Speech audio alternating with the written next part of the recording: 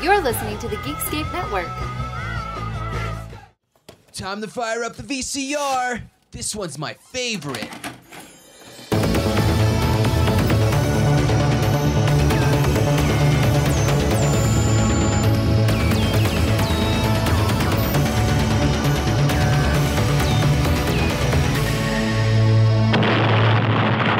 That was gold. Welcome to Analog Jones and the Temple of Film. I'm Steve, Oh, Matt. and we're a VHS podcast that looks at the box art trailers behind the scenes. And this is the film that helped us name our podcast. It's episode 200. Matt, can you believe we made it this far? I'm trying to think like 200. Then we do like, you know, one a week. So what have we been doing this for like four years then now? I think 2017. Yeah, October 2017 was our start. Fuck. Four years. Holy shit. I thought we just started this thing and now we're into number 200. Well, to celebrate, let's pour some scotch. Does that sound delicious next to the microphone? or European, one of the two. nope, nope. I'm not the kind of guy who pees in a bottle during the podcast, but I've heard about them. Which I I mean, kudos to anyone who can do that. And in episode 200, we finally got to peeing in a bottle while podcasting. We finally hit that mark, Matt. It's magic. I, it's it's another celebration. Fuck the 200. We made it to pee in a bottle level. Uh, we've we've had a lot of good episodes. We've talked about a lot of good movies. We've talked about a couple movies that can, you know, burn in hell. But uh, I'm looking at you, Valkyrie or whatever that was, Thousand Planets. Ugh, still my bad, everyone. But you know, we get to this. You know, I'm not saying that the next, uh, you know, Indiana Jones that we do isn't as good. Yes, I am. Um, I'm just saying this is this is the top. So Matt, introduce. What do we watch this week? We are watching 1984's Indiana Jones and the Temple of Doom. Woo! Let's rock that trailer. The old legend of the Sankara stones. The villager's sacred rock was taken. Village stories, Dr. Jones. Fortune and glory, kid. Fortune and glory.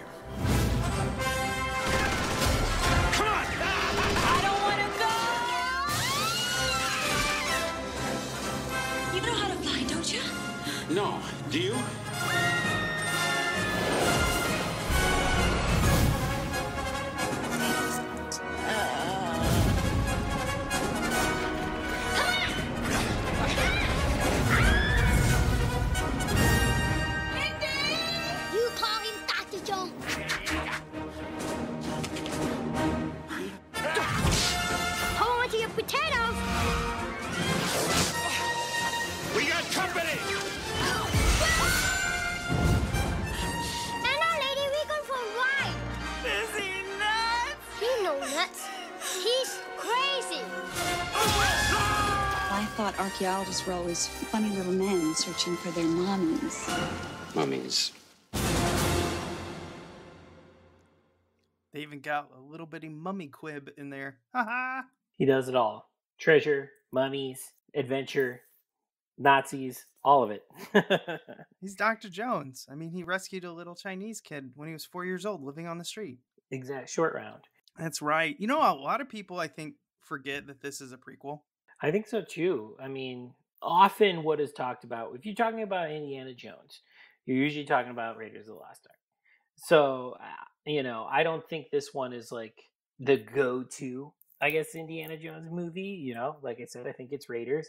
But with that, I think, yeah, people just sort of have the knowledge of that one and they're like, well, this is the next one. So obviously it would be, you know, in the 40s or whatever. But yeah, it's set in the 30s. So it, it is a prequel in a in a day and age when we didn't see a lot of prequels. But in terms of what they're going for in the series, where it's supposed to be kind of like a serial, it totally makes sense that with the next one we would just kind of jump back in time and just see another adventure. Yeah, I always wondered if they're like, well, he was already so fantastic in the first one. If we do the next one, you know, he's already hit his his top. You know, Indy is Indy at that point. So let's go back in the in the past when he's a little sloppier, he's a little you know, rough around the edges compared to what he was. And I think they pulled that off in this, but I think the problem is a lot of people think it's a step down in his character. But really, it's a prequel, but they don't sell it well. I don't see it in the trailers. I hardly ever see it marketed. You know what I mean? It just seems like they put out a film and they're like, yeah, it's a prequel. You didn't really tell everyone that. Nowadays, they market the hell out of that. Right. Like this movie, it starts off and it says like 1930, whatever year that's set in. And y if you don't remember that the first one is set in like 40, whatever, you wouldn't even know because, yeah, like you said, it doesn't really say anything besides that. Yeah. And Spielberg and Lucas were on the same page that they were not going to do a Nazi villain again, which is funny because they come back in the third one with Nazi villains. But there's a reason for that. Uh, the third one is always going back to the first. There's a lot of things with that one, but this one, they decided, okay, let's what is interesting. And Lucas, I or actually, I think Spielberg wanted the uh, bad guys to be in India. I think he was really interested in filming in India, which is funny because of the content. They weren't allowed to film in India. I think they had to film in a I don't actually know which country, but it was not actually India. But they did get a lot of Indian actors, which is funny. For adventure movies kind of sake, I guess India would be like sort of considered an exotic land for a character like this to go visit. So it makes sense. Yeah, I really wish I'd remember the country. Uh, Bangladesh kind of comes to mind, but I don't think that's correct. I just think I'm uh, spewing nonsense. Yeah, I don't. I do not know where it filmed. Yeah, I mean, filmed all over because they also did some sets in LA. Which, by the way, that whole Kali Ma scene where they're doing the chanting and ripping the hearts out. Can you believe that's a set? I mean, I can believe it's a set because it's Spielberg. because it, that's. But it's so good. It look, oh yeah, it looks amazing. Like uh, that. The fact that I believe it doesn't mean that uh, it's not good. It's just you know, in, in the very capable hands of Steven Spielberg, like yeah, he'll make a set like that look good. And it looks incredible. It reminds me of sort of like the 30s big budget kind of early Hollywood adventure movies and serials, which is exactly what this is a send up to. So it like it kind of works. Yeah, and I think that's why they had the huge number at the beginning, the dance number and everything like that. Is that considered golden? What years are considered golden Hollywood? I think it's just like those pre World War II post sound years, pretty much. Okay. And I actually might be uh, right. I just looked up uh, Bangladesh, and I think it actually was Bangladesh that they ended up recording a lot of it before they went over to studios to do a lot of the reshoots and to like set up the sets. So eh, sometimes Steve's brain gets something right. Eh, it happens. The blind squirrel finds a nut every once in a while. There you go. uh, so let's go on to our history of this. Matt, do you remember the first time you watched this? I do. I was at my grandparents' house, and my grandpa had the trilogy VHS box set, and I just on a whim was looking at his movies and picked this one out. So I don't even think I had seen the other two yet, because um, there were only the three out at the time. And I just put it on, and by literally by the time we got to like the Kali Ma scene, I was like, "Whoa, this is like everything I like, like that I would rent on my own or whatever. But it's so cool that they have this. And then yeah, sort of immediately fell in love with this movie and have seen it about 500 more times since. Yeah, I saw this the magical year of 1990 when Steve became eight years old and he thought he was a big boy. I mean, in some people's eyes, I was. And I saw Gremlins and Gremlins was my gateway to everything. Uh, because it basically became like, well, I saw Gremlins, so I can see Raiders of the, you know, I can see Temple of Doom.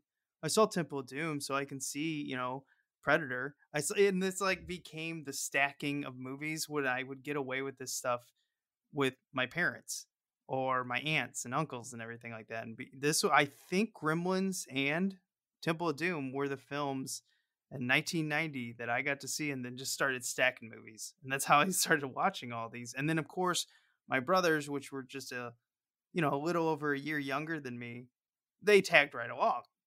My twin brothers who are younger. So uh I loved it. 1990, what a great year for me. The year that you know us kind of nerds fall in love with movies is special. So hang on to that. Gremlins and this, which basically created PG 13 because parents were so pissed. Yeah, I remember I remember reading about all that and yeah, how like they weren't graphic or whatever necessarily, but just yeah, that parents were eh, having kids that were having nightmares and stuff because of the stuff they saw in these two movies and I remember reading about how kind of quickly after this the MPAA had been like, "All right, we're going to do a PG-13." Yeah, I guess both of them worked together pretty well on this because the studios were like, uh, we're losing money, and the NPA was like, well, everyone's pissed at us too, so let's uh, let's actually work together proper. And then they got a PG thirteen, and I don't know who wrote the rules for those, but I can tell you when you know you were a kid in the late '80s and early '90s, you could every once in a while get a fuck and a boob. Yep. And you're like, oh my god, this is the greatest. and your parents couldn't say anything to you. You're following the rules it's a PG movie or a PG thirteen movie, whatever you know, whatever. Every Halloween, you know, I always watch Beetlejuice, and it just like cracks me up how that's PG and it has a fuck in it. Like, yeah. can't even say it on TV still yet in 2021. But like PG movies, you could get away with one back in the day. yeah, I remember when cable oh, started allowing like one bitch, and everyone's like, "Oh, society's falling apart." And then of course we had nipples and friends, and then it was it was over. We haven't been the same since. Yeah, the, the downfall of modern society was Rachel's nipples. Yep, there you go. It wasn't 9/11 that changed us. It was Rachel's nipples. It's fact now. It's been said on Analog Jones. Now it's on the internet. Boom. Done.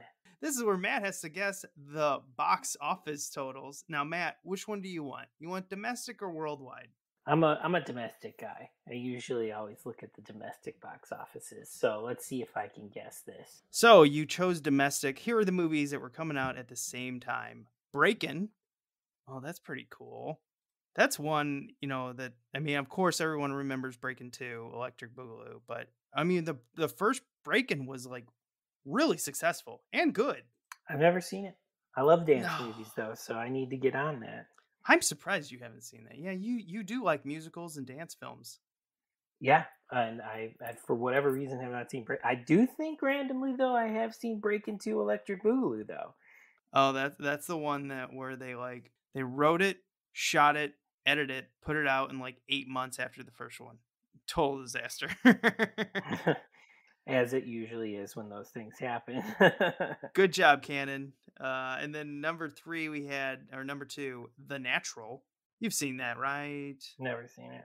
Oh, baseball movie. That's like, that's the baseball movie that a lot of baseball people put up there, along with, uh, you know, Field of Dreams. I'm more of a Sandlot guy because, you know, I grew up in 80s, 90s. Love those kid films. But we also had Romancing the Stone. Okay. Police Academy. Okay. 16 Candles. Firestarter. Splash and the last one, Footloose. 84, big year for movies that would either go on to become classics or spawn franchises. So yeah, what's funny is way down there is Friday the 13th, the final chapter, but it came out in April, so you know it was at uh, its last legs. Yeah, those movies are always so front loaded for audiences. So pretty funny that you would put a Friday the 13th out in April. Doesn't seem very smart. I would have that in October every time. yeah, Got to have it in the fall at least. But anyway, those were the movies. What is your guess for the domestic total? Uh, I'm gonna go. I I feel like I'm playing it a little safe, but I think I want to go. The budget was 28 million. I'm gonna go a little bit conservatively on this, but still high considering it's an Indiana Jones movie. And I'm gonna say domestic 95 million. Okay, yeah, you went a little little conservative. Uh so in the it uh max theaters it was up to 1600 almost 1700. The opening weekend was 25.3 million and total domestic ended up being 179.8 million dollars. Oh wow. I just didn't think in that in that time period that so many movies broke 100 million but i guess i'm wrong i guess i, I guess that is the case well it didn't do as well as uh, raiders of the lost ark in domestic but it came out in more theaters. How about that? Uh, yeah, I mean that makes sense. I think just like the '80s and you know franchises and stuff starting to take off, and yeah, the multi-release, the blockbuster was very much already an established thing now in '84. So I guess it makes sense it'd be in more theaters. But uh, yeah, I just I don't know why I never want to shoot over a hundred million for something this old. Uh, but 170 million is nothing to be bad about, and that's probably why we got two more sequels. No, it was a huge hit, and this is with all the backlash after the first weekend it came out. So people kept coming. Uh, now, for fun, for shits and giggles, you want to guess the world worldwide box office? Just just throw it out there. then I would say 270. Not bad, three thirty three. Okay, yeah, that makes sense. So it was pretty popular then elsewhere as well as here then, if that's the case. Yeah, and uh, apparently India refused to let it play in their country, but it did allow it to come out on video, which was very successful. Yeah, I was gonna say I'm sure it was a major success on video because it's a Spielberg movie. Now, what's interesting is I don't have an original release of this. I have the re-release, but the re-release that came as a single. so not a part of the box set. No, uh, so there was the original ones that came out, uh, which I do have. Honestly, it's just it's up on my shelves, and I'm not getting that one. Uh, and that VHS sucks, by the way. It's dark as hell. I, I never watched that. I always watched a re-release here on VHS because they cleaned it up a bit, and this came out uh, somewhere in the mid '90s. I I so I've seen the original, which yeah, I agree. Looks like shit, sounds like shit. Um, and then I've seen the box set that probably came out in the '90s, the three. I'll, I'll describe it. It's got the great poster, which this is one of my favorite posters. It is in my hallway. Uh, Sarah was down for this because it's painted. She's like, anything painted could go in the hallway because I have ones that you can replace them. So this is one that I hang very proudly. I love it. You know, you've got your your main bad guy there in the background, Mola Ram. Is that how you pronounce? It's Mola Ram, right? I think so. Yeah, the guy chanting Kali Ma. Yeah. Uh, he is awesome. He's got his big headgear on with the. I actually don't know what type of animal it is, but something with horns. Uh, looks very much like ox or bull, something like that. It's great. It, it doesn't matter. It just looks awesome. And then you've got the most handsome man in the world in the 80s, Harrison Ford with his hat on. Uh, and then we got Short Round there by all the elephants and everything. And then we have probably the most like or hate woman in this movie, maybe an indie of the Indiana Jones movies. We have Kate Capshaw, who is playing Willie Scott. And it's going to be really interesting to hear our two opinions on her. Uh, so let's save it for a bit. But she is very love or hate, honestly, from what I've read. All right, so we got the awesome Indiana Jones font in the Temple of Doom. Then we flip it over to the back, and again, we got the awesome font and everything like that. And then we've got a shirtless Harrison Ford. Ooh, that is man candy right there. Am I right? Looking yum. Yeah, he is. He is thin and ready to go. Well, he's he's like uh, what what would you say in like '84, like forty something? You know, I- that's a good question. I don't know. He's an experienced, good-looking man. This is no boy we're talking about here.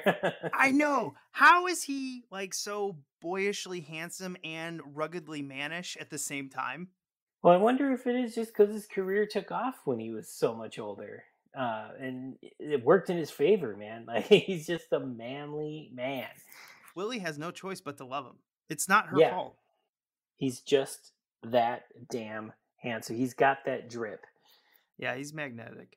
So we've got the description here. Indiana Jones, the daredevil archaeologist who saved mankind in Raiders of the Lost Ark, is back in one of the biggest box office smashes in history. This time, Indy's out to find the famous Arkara Stone and to save hundreds of children who've been enslaved by a mysterious cult in Indiana Jones and the Temple of Doom. It's an action packed masterpiece of special effects and edge of your seat adventure. Harrison Ford leads an incredible cast in this breathtaking epic, shot on three continents by the film's creators, George Lucas and Steven Spielberg. And what's funny here, this doesn't make any sense. Oh, Canadian home video PG rating. So I have a Canadian release. You know, those slip in. they slipped. They slipped into Suncoasts and FYEs and Walgreens and wherever you bought your VHS tapes back in the day. They those Canadian ones always slip in. It still happens with DVDs too. That's hilarious, and they very proudly uh, show the little Canadian maple leaf. I love it. Canada, always a big fan of your releases. This version looks better than the OG US release, so good on them for that. There are times when they're doing the whole like Kali Ma, you know, like chant and ripping out the hearts and everything in the original release. It's so dark that you just see see like fire and like flashes of people's face in the light. It's bad. Yeah, not one of my favorite VHSs. Um, I I agree hundred percent that original release because I had it for years, and I think I recently just got rid of it because I was like, I'm never gonna watch this one again. you know, it was so bad. I may still have it. I gotta I gotta check the closet, but it, it I, it's not my favorite way to watch this movie. Folks, I've been to Matt's place. He's just got VHS stacked in the hallway, which I'm sure Ashley just loves. Well, it was for the shelves that are coming in, and I've gotten since more shelves, and now they are all in the room. But I Oh, still okay. need some more. I still need some more shelves for these VHS fuckers. I got too many of them, and I might be moving in two months, so that'll be fun. Yeah, have fun with that. I'm sure the I'm sure moving everyone's back who are, is moving all those is uh, very happy for you to be doing that. Yeah, I'm very happy that there are services that do that because I will not be. Yeah, movers are investments in your health. yes yes having only done it one time the last time uh i can tell you lifesavers All right, before we pop this tape in and talk about it, we want to remind you to go to Apple Podcasts and rate and review us. Give us five stars. We really appreciate it. It helps the channel a lot. I know some of you don't like to put descriptions, but that's okay. Matt, what description should they put? tell me your favorite lunch meat. Just tell me your favorite lunch meat. You just five stars. Ham. Done. Done. Analog Jones, Honey Ham. Boom. done. Done. Now, do they have to put a brand? Like Boar's Head or anything? they can. It's not uh, required. You could just say ham you could say Krakus ham if that's your favorite i don't care but tell me your favorite lunch meat I only put bacon on sandwiches. I have bacon sandwiches. That is a correct answer as well, as long as it has a five star with it.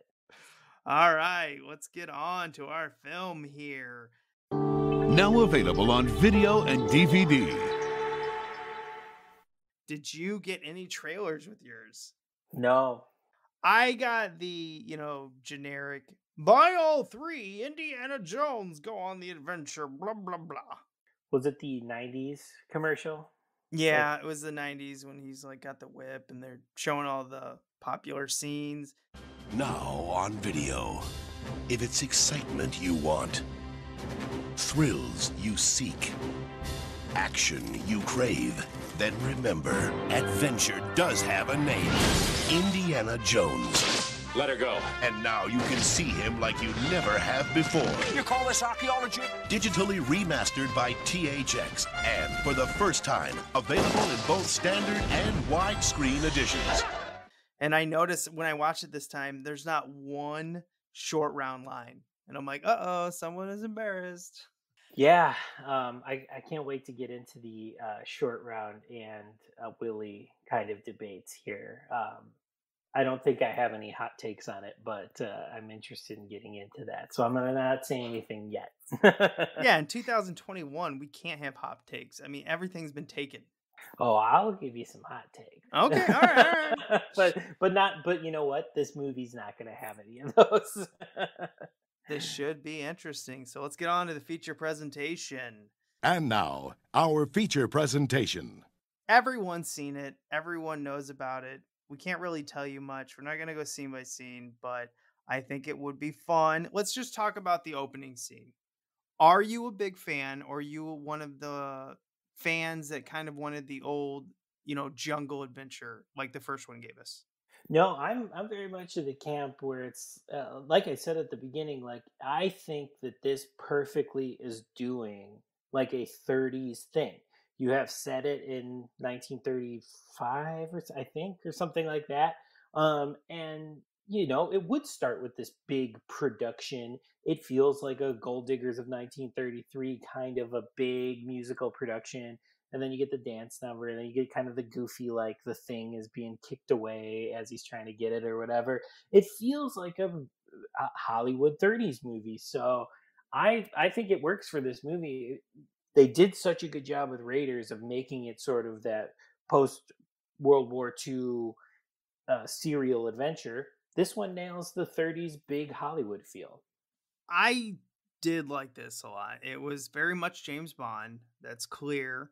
Uh, and then the big piece, you know, where they're celebrating old Hollywood and everything like that. All it needed was like synchronized swimming in a swimming pool, and it would have been full complete. But that's a little ridiculous. Uh, it was supposed to actually be bigger, but the actress, the main actress, uh, her dress was so tight she couldn't move. It was a very expensive dress that they rented, and they decided to just cut it, even though she had practiced for over a month to nail it, all the choreograph and everything.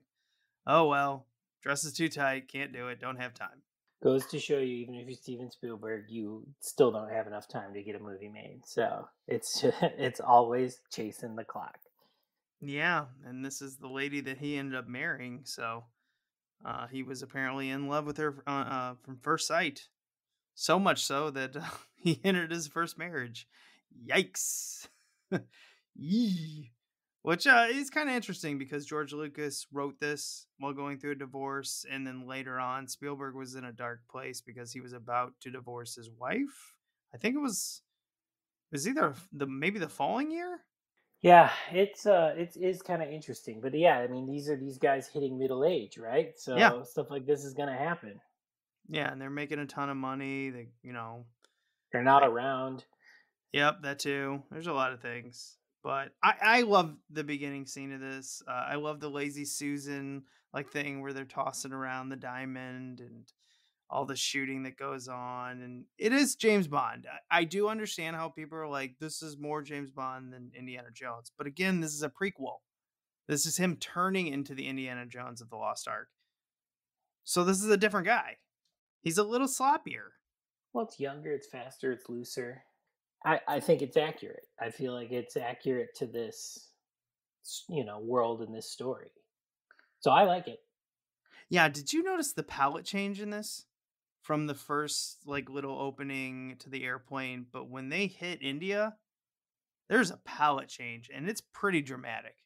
Yeah, I think there's even a palette change from the opening scene to the plane ride as well. Like I I think it almost does shift from maybe more old school Hollywood to I feel like a more kind of like Indiana Jones kind of palette, you know? Like I feel like it, it once once we land there we begin sort of the the main movie's adventure. I think it re- that's when it really looks like an Indiana Jones movie. And I think that's with some, you know, foresight because obviously I've seen the other two so I kind of know what they look like, but like so maybe at the time it might have been a little more jarring, but for me as a modern viewer or whatever, I think it just it looks like a like a Indiana Jones adventure. Yeah, and then I think it just turns straight up into a horror movie at one point, and then it goes back to an Indiana Jones adventure. yes. So it's crazy the look of this film, how it changes. And I mean, you got to give props to all the production, all the people behind the camera, all the people doing the the sets and the costumes. This movie looks like a hundred million dollar film. Uh, I mean, that's why it won, you know, two Oscars. I mean, one of them was John Williams, so that's kind of cheating because he is the ultimate cheat code. well, he didn't win. They he didn't win. That was nomination. Oh, they- I thought he won that year too. I'm, I'm pretty sure that was a nomination, but they did win special effects. Okay, yeah. Well, no, I, I got 84. It was nominated. You're right. Nominated for Academy Award for Best Original Score. I thought he won. Oh, But like like you said, it's still a cheat code to get nominated, regardless. Yeah. guy's amazing. Um, he probably didn't win because they're like, oh, you already had a great score to work with that you created. Well, I think that is a little bit disqualifying. Yeah, how could you have it Yeah. as best original score for a sequel? You know, It's a good point. But I mean, I gotta admit, the whole Kali Ma like chanting and everything that they do, it's so epic. Uh, I'll play a little bit of it later, but I just love it. But let's get into Short Round and Willie. Okay, so here's a scene that I pulled, and I think kind of like encapsulates the stereotypical little Chinese sidekick that they create and how annoying Willie can be. All in one clip. I did this for you folks. Where did you find your uh, little bodyguard? I didn't find him. I caught him. What? Shorty's family were killed when the Japanese bombed Shanghai. He's been living on the street since he was four. I caught him trying to pick my pocket. Didn't I, short stuff? The Biggest trouble with her is the noise.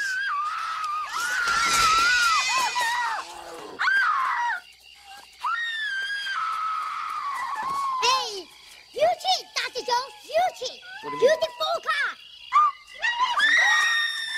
You say now. No Respect to mistake. No mistake. Mistake. I'm very little. You cheat very big.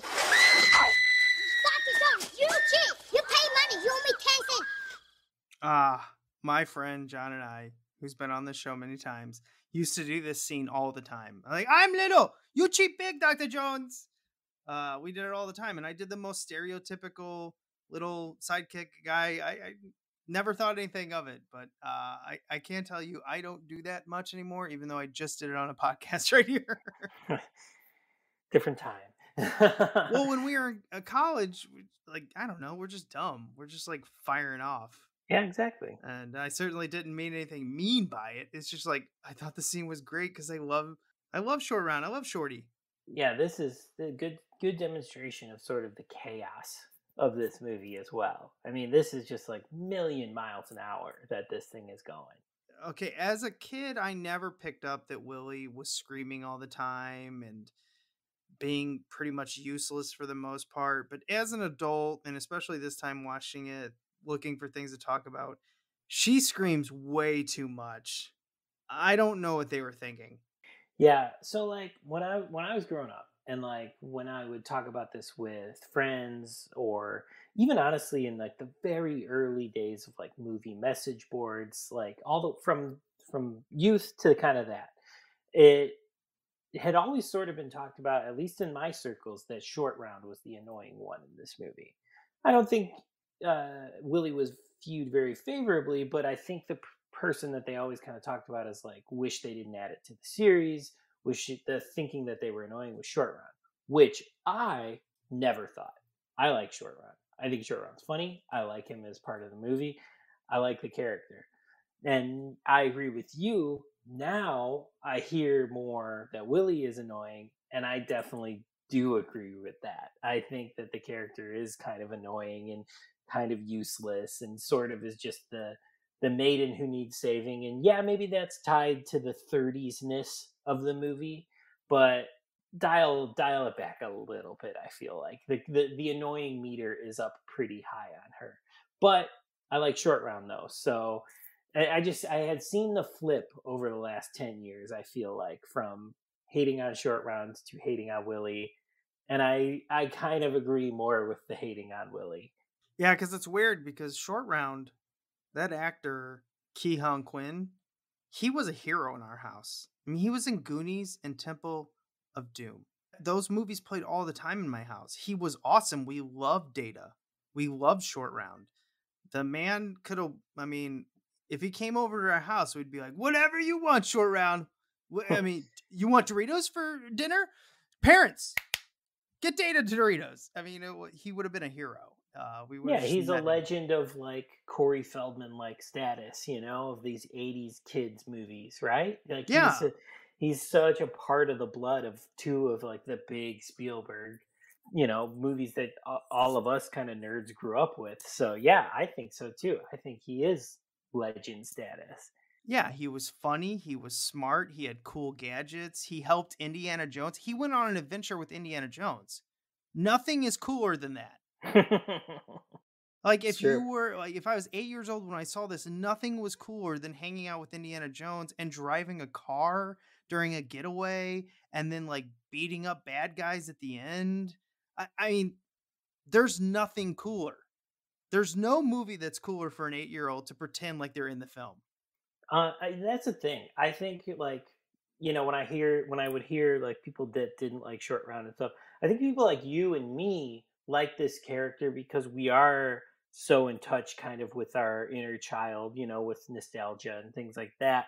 And and like yeah, he when you're watching this movie as a kid, he is the kid perspective of going on the adventure with Indiana Jones. How cool is that? You know, like and I think because we're still in touch with that, we still like that character. But I think for some other people that maybe saw this as an adult or something like that, sure, they may think he's a little annoying. But for us, not not at all. He's us for the movie. Yeah, and the thing is, is like when I look at stuff as an adult now, child actors or child characters are annoying because one, they're bad at, at acting, or two, they're useless characters that are just stuck in there to get kids to like. I think Short Round, while some people might not like that he's you know the most stereotypical Chinese sidekick, uh, I mean I think he even does kung fu at one point in this, doesn't he? Pretty sure. Yeah, Yeah. but I mean, it's it, 1984. I'm not giving it an excuse, but it, No, I, I know it's 84. 1984. I, I get it, but it's just like, eh, you know, it fits all those stereotypes and everything. But he was useful. He was a good sidekick. He did his job. and he's a good actor. Yeah. So that's that's the thing is like he was actually a strong stereotypical sidekick. Uh, even though, yes, I get it. Uh, the broken English and all the jokes, you know, being the ah, we get it, folks. This is 1984. I don't think these people were ever doing anything mean. I just think they're just two dudes from California being white and not knowing any better. Yep, just yeah, just not knowing that like, oh yeah, this may be hurting some people's feelings. Uh, don't do that. But they didn't know that at this time.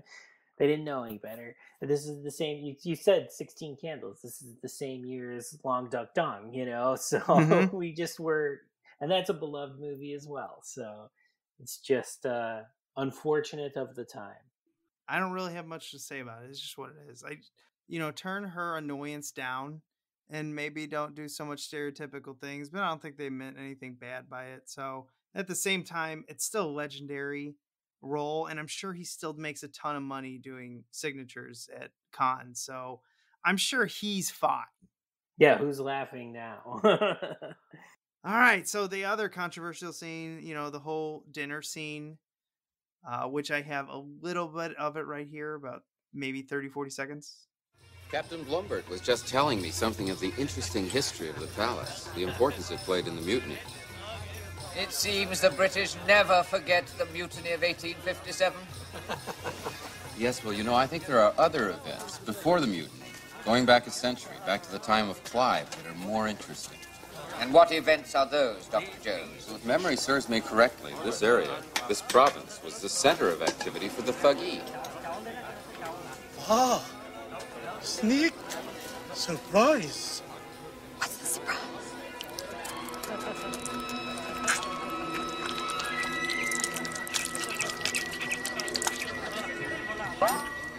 Dr. Jones, you know perfectly well the Thuggee cult has been dead for nearly a century. Yes, of course.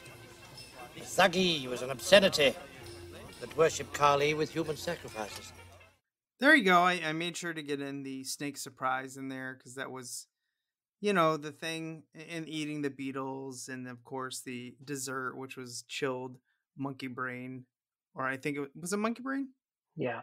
Uh yeah. See, this was as one of the the actors, both actors, uh Rajan Seth and um Emrish Pura. And if I'm messing up those names, well, I'm from Missouri and I'm white. Sorry. I'm uncultured. Um, but you know, they were talking about how they agreed to those scenes because it was so comical, it was so over the top that it was supposed to be they were serving food that Westerners thought that people from India ate. It was not a good joke. It didn't go over well. But as a kid, we never saw any of that. We just thought it was cool that they were eating snakes and bugs. Yeah, I mean, this is just is plugged right into like you know, kids playing in the sandbox and pretending to eat gross things. You know, that's that's what this is, and it's and you know when they talk about the fan the the controversy of it, my answer is always sort of like it's fantasy. None of this movie, at least that's what my kid brain thought when I was watching it. I was like, none of this is real. This is like in a in a adventure time, you know, in the 30s. It's not even current, you know, like it didn't feel like it was supposed to be representative of India. You know what I mean? It felt like it was supposed to just be part of this crazy ass movie. yeah, and I know the actor who played Molly Raw, Molly Ram, Molly Raw. I don't don't remember exactly how to pronounce it, but Amrish Puri. He had to to put up with this for years because he defended it. He's just like, I wasn't in the scene, but I was in the movie and everything. He's like, this film was clearly comedy it was so over the top. It was so fantastical. It was so stupid that he's like, that's why we agreed to do this stuff because we just didn't think it was that bad. We just thought it was stupid. And uh, it almost was like we were laughing at the westerns. You really think we eat this shit? Uh, and then you know it was funny because there's been back and forth. A lot of people from India, especially politicians or uh, you know, talking heads were were bashing it, and I understand that. I really do. Uh, I understand both sides here, but later on, as this goes, it seemed like it actually did something good, as in the Western culture were then now introduced to discovering what is India really like, and there are a lot of people saying like this this film specifically introduced a lot of people from the Western world to Indian culture because then people started teaching what actually Indian culture was like instead of just this, you know, like comic and these over the top characters that aren't real. So I kind of get both sides on this. Yeah, I mean, I told like I am obviously making very much an argument for the fact that it's spoofy, it's you know funny, it's over the top, it's fantasy. I see the side of people being upset as well. I definitely you know as as a person growing up in the western world i can't really comment on how their perspective of it is so like you know i see it but like to defend the movie i really do think yeah it's fantasy yeah it's over the top yeah it's two guys from california that had probably only been to india maybe once for fun i'm assuming that's why they're so interested in it i don't think anything was meant bad by it and I, find it really interesting to hear like an Indian perspective when I hear you know older um, this actor, two of the actors, uh, talk about it. How they're just like, we just thought this was so stupid, it wasn't a big deal. Yeah, and like you know, as a kid audience, that is sort of what comes across. So yeah, it's interesting to hear that that is you know some of the actors you know who lived it, who were there, their perspective of it. Yeah, moving on. Uh, I mean, Kate Capshaw, I gotta give her credit when we get to the bug scene, which is and the dinner scene was big for us as kids. We usually would watch the beginning scene, we would fast forward to the dinner scene, then we'd fast forward to the bug scene. And those are real bugs. None of this is fake. I mean, she had to take a sedative. They had to give her sedative, and I don't blame you. I, I don't want like 2,000 something bugs crawling around me. It's awesome. This is all real. They had bug wranglers, professional trainers, which is weird. In 19 probably 83 when this was shot, I would assume they wouldn't give a shit about bugs. No, no, no. This was a big deal. This took a lot of bug wranglers to come up and mix all these bugs so there wouldn't be some giant war. And they had to do I'm sure there were some bugs killed cuz I mean, come on. You're you're walking around 2000 something bugs. How do you miss all of them? Uh, but I, I was impressed that they actually went to this length to make sure these bugs were protected and trained and all this shit. I think that's crazy. What do you think? Yeah, I think you know, like you said, maybe maybe the '80s is kind of the earliest example of like actually taking care of. I mean, not even just bugs, just animals in general in movies. Uh, more. Yeah, because a couple weeks ago, you know, Chris was telling us about Milo and Otis and how fucked up that movie was for little animals. Right, right. So, like, yeah, by this time, big Hollywood production, yeah, you're gonna need like bug wranglers and stuff like that for this scene. Uh, yeah, let me tell you, if I was in her shoes and I had to do that, first of all, I wouldn't do it. Second of all, if I had to do it, I would have to be on heavy sedatives. yeah, that's why I was like, man, she was a trooper. She did it. And I'm not sitting there saying, like, oh, you had to do it on sedatives. Oh, tis, tis, tis. You know, other actors wouldn't I don't care, man. That's uh, bugs crawling on me is one of those things I can deal with, but I don't like it. And if someone gave me the option for sedatives, I'd take it. Yeah, I don't like that shit. I don't like that shit one bit. I would not be happy in that situation. I probably wouldn't do it. she was probably like got in a corner and like pumped herself up, and they're like, you know, we can just give you sedatives, and she goes, and I'll take it. Thank you very much. It's like, wow, I didn't know that was an option. Yeah, we got this drugger, you know, we got this drug guy over here. He's for Harrison Ford. He gets he gets migraines. And we got 2000 of these things on the floor. You're gonna need it. I know, and some of them are big. Uh, but we loved it as a kid, especially you know all the the traps and everything. We skipped right over the like little sexual innuendos and she's like talking about him studying stuff. We like we didn't care. Give us bugs. Yeah, the gross stuff. and then we get to the chanting, Kali Ma, and the ceremony of the ripping out the heart, but he's not actually ripping out the heart. I don't know if you know that, man. Spoilers. he just has the heart. I know, I love it. We loved it so much as a kid, and it creeped out my mom because we used to chant. We used to do the two chants that creeped out my mom the most. We we did the the Chucky, you know, Latin and everything like that. I can't remember it as well now, but we used to chant that. And my mom hated it, and we used to chant this, and my mom hated it. That's hilarious. and we used to pretend doing the sacrifice. We'd always kill one of us. I'm gonna be honest. I was always the one being Molly Raw. You know, I was killing my brothers, but they were little. They deserved it. Yeah, exactly. You had the power. yeah. If you wanted to survive, you should have been born first. Then the rules. I don't make them It's a hierarchy. You can't change that. Yeah. Well, we used to chant this, and I got a little bit of it because I love this actor. बलि मांगती काली माँ मुक्ति देगी काली माँ काली माँ काली माँ काली माँ शक्ति दे बलि चढ़ाओ तेरे आगे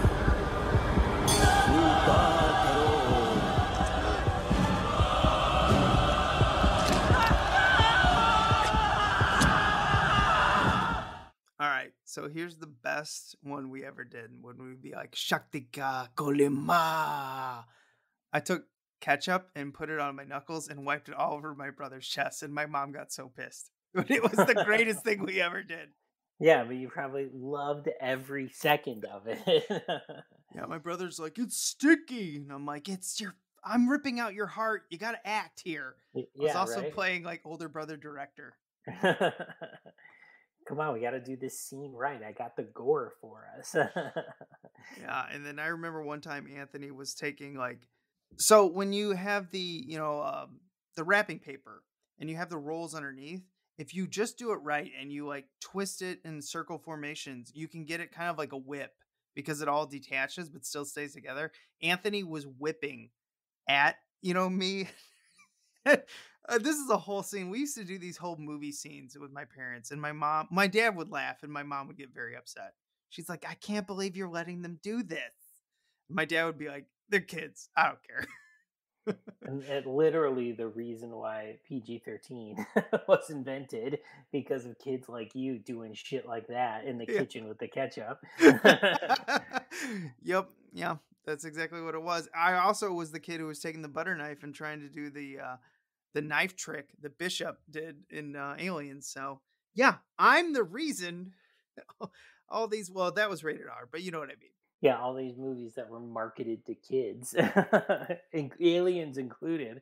Uh, yeah, that's why we did all that shit and why the parents got all mad. I I know that like when this scene happened the first time I saw this movie, I mean this is sort of where I both like I fell in love with this movie with this scene, but also then the rest of the movie never reaches the heights of this scene. That's true. Oh, I don't know. The getaway on the mine cart, that's pretty fucking awesome. I mean, I think I love that more today, but as a kid, I mean, as a kid that loved the gross shit, like you're talking about the bugs and the monkey brains and stuff like that, like you, the it ends sort of with the heart. Yeah, the adventure stuff is fun with the cart and the, the basically the universal ride that it is. Um, but like for uh, for me as the first time watcher, it never reached this heights. Yeah, as an adult, I like it all though. Now, speaking of the Universal ride, they never did this as a Universal ride, correct? no, I think they did a stage show only. Yeah. I think you're right. Yeah, because they they had the plane and everything leaving the water. Mm-hmm. Yeah, that's sad. I mean, because this is a ride. This is a ride that every kid would pay. I would have begged my parents if this was in Universal Studios.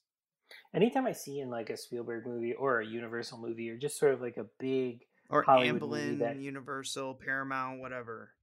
that crosses into there, I always wish there were rides for all of these type of you know moments of like why didn't River Wild get a ride? You know why didn't why didn't this Ooh. have a ride? You know like River Wild would have been a good ride, but for adults because I don't think kids would have been attracted to it. But like, could you imagine 1985? Or no, wait, when did that movie come out? River Wild ninety four. 94. Okay, let's let's uh, pretend 1996 30 year old and 40 year old Steve went to Universal. We'd be on that in a second. And I dragged my kid to it. I wouldn't bat an eye. I'd be on that thing. I'd go on it twice. Last time I was at Universal, I was 18 years old. I rode the Mummy ride five times. So I know. I hope my kid is ready. I mean, I already put him in five Halloween costumes, which we only bought one, folks. So if you go on my Facebook and you see him, he's in five costumes. We only bought one. I'm not that crazy, but we were getting pictures in all five. hell yeah. Yeah. I mean, you have kids to put them in Halloween costumes. The rest of the year, I'm a deadbeat dad. Until theme park season happens when he's a little older. Yeah. and then I'm like the greatest dad in the world who's like dragging his passed out kid. He's like, I'm too tired. Nope, nope, nope. We got three more rides. yeah, we still we still have to do the King Kong ride. And if Matt's there, I'm like, Uncle, we can't disappoint Uncle Matt. Hey kidding me? You're you're pop. If I'm there, you're Papa Steve, and you're taking care of your two kids that day. Your 35 year old and your five year old. Oh no. Well, we're getting a lot of turkey legs, kids. we need that salt and fat to keep up with all the energy we're burning. and I'm just over there like turkey legs, turkey legs. Universal, like I know a lot of people are like, I can't wait to take my kids to Disney, and I will. But I'm more of a Universal theme park kid. oh yeah, I I that trip I was talking about when I was 18 and I went to Universal. I think I spent five days at Universal. I spent one at Disney. I'm a I'm a Universal guy through and through. Yeah. I, I don't know, maybe it was because I grew up next to Six Flags. Like like there's something different. I wanted the alternative to Disney. I don't know if that's something in my brain. Or maybe it's because I like Mac and Me over ET. Maybe that's the true like uh, thing that we should investigate one day. But either way, uh, yeah. You know what? The rest of the film after the the you know the Universal ride that is the mine shaft and everything like that, it's fun. You know, I like the little gun trick where he doesn't have the gun and they're playing. You know, they're making fun of the first one. Uh, and then he's he's on the the bridge with the alligators and everything ever since. But honestly, the movie ends in my like kid brain right when the mind ride ends. I'm like, okay, I'm done. I can just leave. Yeah, like I said, when I was a kid, it ended with the Kali Ma scene, so I totally I understand that. Uh, but yeah, as an adult though, like I like I said, I like the the ride scene, and then I I like the crocodile scene. I like the bridge over the crocodile. I think it's a really good kind of intense finale. Yeah, I like it as an adult, but I don't give a shit as a kid because I'm like, all right, I'm ready to go outside and play. yeah, exactly. so there's two different things because it's fun to watch. Now, the the problem with this is I watched this on three different formats in the last like couple months because I knew we were going to do this for 200. I watched the original one and I quit. I just couldn't get through it. It's so bad. I put it up on my shelf and I'm never going to watch it again. It's bad, folks. Uh, and then I watched, then I went straight way too far into the HD. And you can see all the lines, you can see all the tricks. And I'm like, oh, we need a middle ground. And then I went to this re release, and it is a great middle ground. It really is. I would very much recommend if you watch this film and you're nostalgic, watch the night the mid 90s re-release of these because they lightened up the darkness, but you still can't see all the puppet strings if you know what I mean. Yeah, no, that's the this is kind of one of those movies that is tailor made still for sort of like a not premium format, you know? Like like I agree with you 100% that first VHS is useless. But yeah, later VHS, I also I I watched this on the sort of first run of the DVD and that looks fine too. Like that doesn't give away any of the secrets either. That still has a little roughness to it.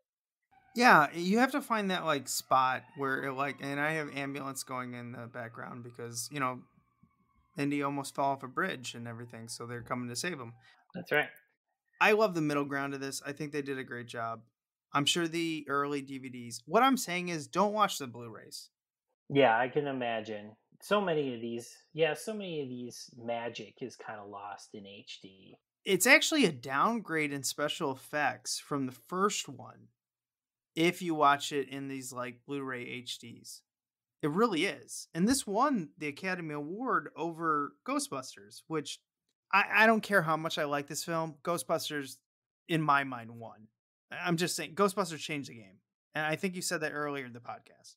Yeah, Ghostbusters came along and was like, you know, changed the way we did special effects. This one came along and just did a Spielberg movie, which is incredible. Do not get me wrong, but Ghostbusters, come on. yeah. I think if we redid that today, Ghostbusters would win. It just like was I had never seen anything like that. I had seen Indiana Jones. I just saw it like three okay. When I was a kid, I don't know how many years before. Because I'll be honest, I don't think I watched these movies in a row. I'm almost certain that this was my first.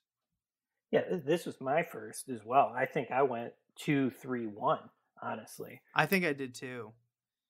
Uh, and it took me a long time to appreciate how good one is because it used to be like this was my favorite, three was my second favorite, and then one because I thought one was boring. And then when I got older, I'm like, I'm still sticking with Temple of Doom as my favorite. And I'll be honest, it's because the set decoration is insane. This reached a new level. This is like pinnacle 80s set decoration. That whole you know, fire and brimstone and everything like that, and then the adventure of him escaping the strong man and the mine the mine shaft ride and everything. Listen, I know a lot of people are gonna be like, the first one's iconic, you can't compare it. And I'm like, yeah, but this this set decoration's better. I'm sorry, it is, in my opinion. Mm. Yeah, yeah. A lot of the production design here is definitely more more memorable than the first because the first is so many like landscapes and actual existing stuff. This is a lot of sets. This is a lot of production design. This is a lot of, you know, it probably took a lot to put that kind of mineshaft ride together. So like, yeah, the production design's out of control in this. This is big money Hollywood blockbuster here. Yeah. So before we go on the museum, Matt, this is a big 50-50 coin flip. Do you recommend Temple of Doom? Oh, hugely recommend it. I love this movie. I I am a uh, one two person. Like I, I love the first one a lot, a lot, a lot. Um, and then immediately after would put this one. You know, my hot take is that I like four more than three, but they're still not even close to the first two. I don't know if I told everyone, but this is Matt's last episode after that shit. What are you talking about? And, and uh, here's and actually talk, I can talk about this here because real quick because I, it is tied to what we've been talking about this whole episode. One of the, the the reason that I would take four over three is simply because four we do the 40s again. It doesn't really feel kind of like a 40s movie. It just kind of feels like a late 80s movie. It doesn't have like that vibe. And the reason I like four a little bit more is that it captures sort of that 50s sci-fi B movie vibe that you know the other movies are capturing their time period so accurately so that's why i do it but like like i said one two is are the two you need and then i like four and then three is the one i watch the least whenever we get to number three we'll talk about that i have problems with three as an adult but I can't stand four uh, because part of me thinks that they just didn't take it serious. And I, you don't have to take these films serious, but what I mean is like they almost haphazardly put it together. I don't know. Uh, we'll talk about that whenever we get to them. No matter what happens in this podcast, even if we retire and we never do a podcast again, we're coming back for three and four.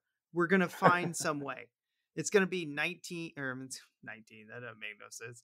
Um, it's gonna be two thousand forty-seven. I'm be like, man, I'm about to die. We're doing number four, and you'll be like, "That's my favorite one, other than one and two. And I'm like, "Yeah, I hate you." I like that you're like a grizzled old smoker, and I'm still a child in the uh, in the future. I, I could be could be accurate. I don't know. but I hope in the future I have some uh, RoboCop legs and stuff like that. I'm still walking really well, but I got a grizzled voice. They still haven't fixed the voice boxes. but they can fix everything. Yeah. But you found the fountain of youth, and you're like, I'm still 30 years old. I'm like, I hate you. Why didn't you share that with me? okay, let's go on to the museum.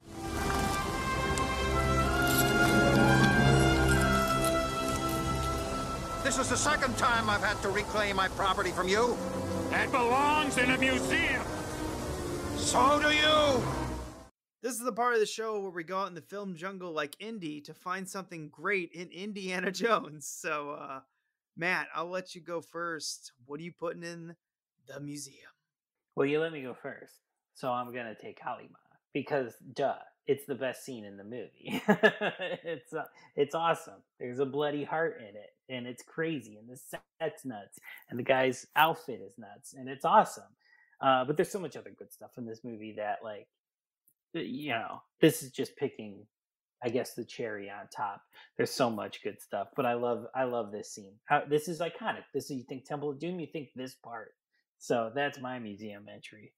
Uh, mine is going to be the White Savior riding the mine shaft ride. Oh, I ruined it.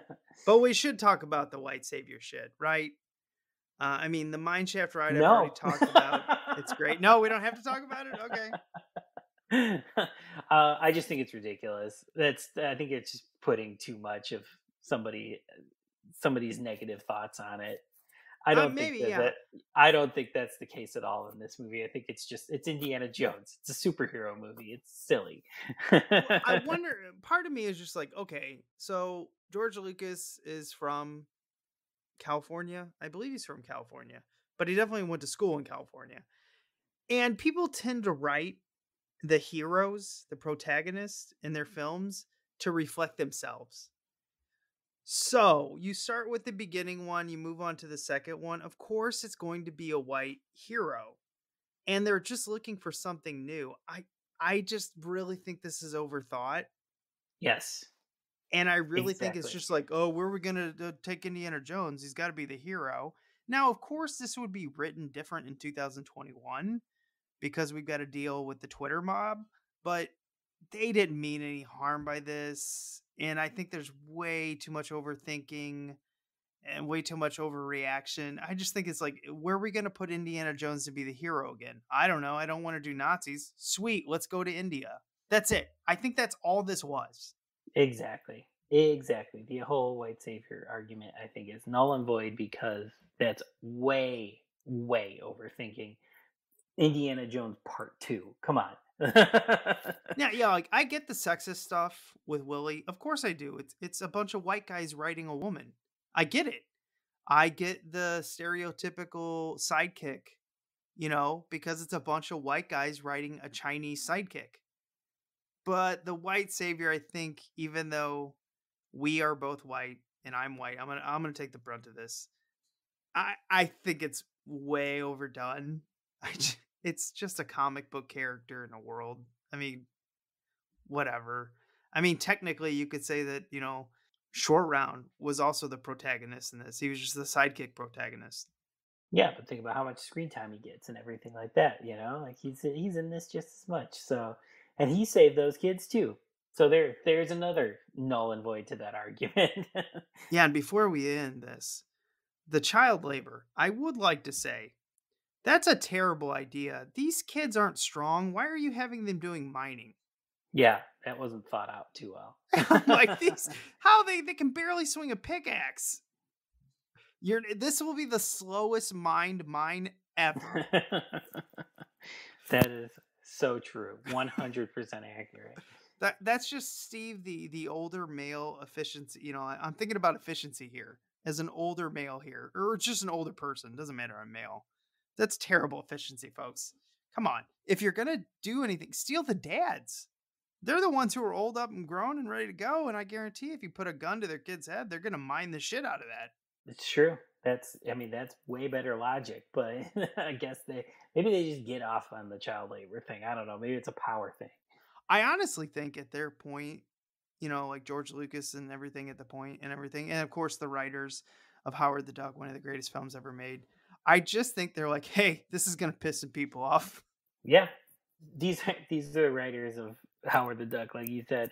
They're probably just choosing what's weird, what's funny, what's crazy, what's quirky. You know, that's that's all that's going on here. yeah, I think that's it. So that'll end it this week. Matt, number 200. Whatever whatever happens in the future and everything, I am really proud of what we done.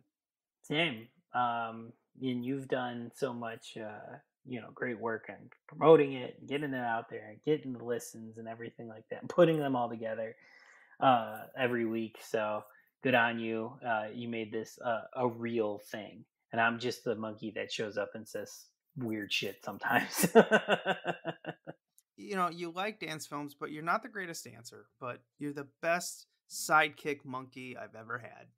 Perfect perfect that's all i've ever strived for and I hope one day you write your second film, you get to direct it. I hope you do many more. I'm just saying, as of right now, I hope you write your second film. We all get to watch it and we have a party. It's it's happening. Yeah, you know, it, it's slow. It's a slow thing, but the the wheels are in motion and it's coming. All right, but you got to write me in a very small part where I'm like a retail salesman. You say that. Just wait. oh, I'd show up 100%. I'd be the most prepared person on set. Like, you know, you know, you only have like four lines. I'll be like, but those four lines are going to be dynamite. yeah, don't you worry. Don't you worry about a thing. well, don't worry. I've been in stage productions in high school and college. And both of them, I barely had any lines. So I'm ready. I'm ready. You're prepared. You are prepared yeah, this has been a this has been a fun uh, 200 uh, movie long journey, and uh, my brain may be potatoes, but um, it has been fun going through so many lumps of plastic the analog way. It's been it has been absolutely crazy. I cannot believe it's been four years. I can't believe we've been friends that long either. Yeah, well, I mean, we were friends for the first two years, and we've hated each other for the last two. But you know, there's definitely an asterisk next to that. Because yeah, once I find out that you like number four over number three and two and one, I'm just gonna rewrite history. Matt is the only man on history that thinks Indiana Jones and the Crystal Skull is the best Indiana Jones. Uh, that is 100% not accurate. and I'm I'm going to burn this thing down to the ground now. That's funny because my notes also say that you like Mad Max Thunderdome the most. Oh, yuck. I I can very much say that I would like to go the rest of my life without having to watch that again. well, that'll do it this week. So remember to be kind and rewind.